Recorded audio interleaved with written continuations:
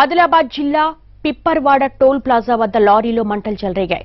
మహారాష్ట్ర నుంచి హైదరాబాద్ వైపు వస్తుండగా ఒకసారిగా మంటలు ఎగిసిపడ్డాయి. దీంతో లారీ మొత్తం తగలబడిపోయింది. స్థానికులు ఫైర్ స్టేషన్కు సమాచారం అందించారు.